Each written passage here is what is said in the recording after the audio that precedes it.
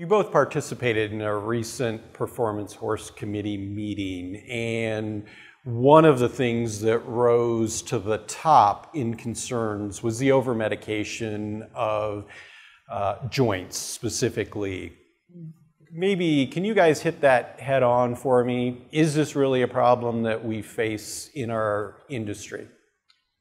I believe it, it can be and is in some instances, and I think it's sometimes due to the, well, the, the trainer's driven to win because they've got a, a client that expects their horse to be taken care of the best and to be ready to go. And the, the trainer's driven to have a lev- level playing field. And I think very often they resort to medications, not just intra-articular medications, but systemic medications that are perhaps unnecessary, um, just to assure that they have done everything they possibly can.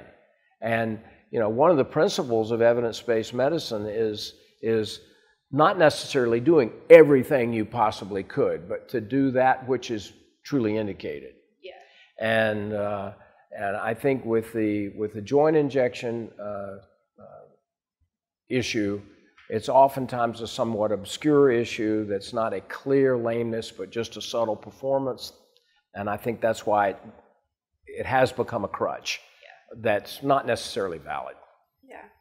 And I do think the over medication is a problem. Um, at least every single horse show that I work, I come into contact with a client that has had a bunch of things injected right before the horse show, and the horse is still lame and they'll come to me and say, But I had all of these things injected. Why is my horse still lame?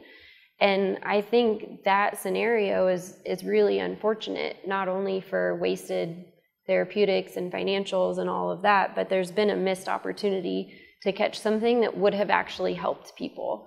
And I think that, you know, communicating with them, like, look, I can do all of these therapeutics that you want me to do, but you're not going to be happy with me when they don't work because they aren't in the right spot or they're not addressing the correct issue. So I do think that over medication um, is a is a struggle in our industry right now. And what we all do as veterinarians in equine practice of trying to kind of come together to figure out a better way around things is is I think really important. Do you guys see a role for the AAEP in the education around over medicating horses? And if so, what might that be? I see, I see the, the veterin, veterinarians need to be given the educational tools and the confidence to say to their client that there are consequences of over medication and unnecessary medication, um, and that and, and the, very, the very overuse of medications over the years is in part why, in the performance horse world, we've had a lot of medications taken away from us. Uh, and so I think that uh, it, it would be vastly helpful, especially to the younger veterinarians, to give them confidence to be able to say to their clients, look, we've got good evidence that this is not the best way to maintain your horse.